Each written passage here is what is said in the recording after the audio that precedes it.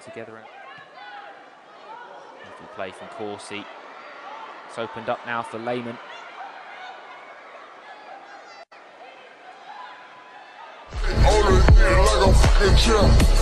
tryna be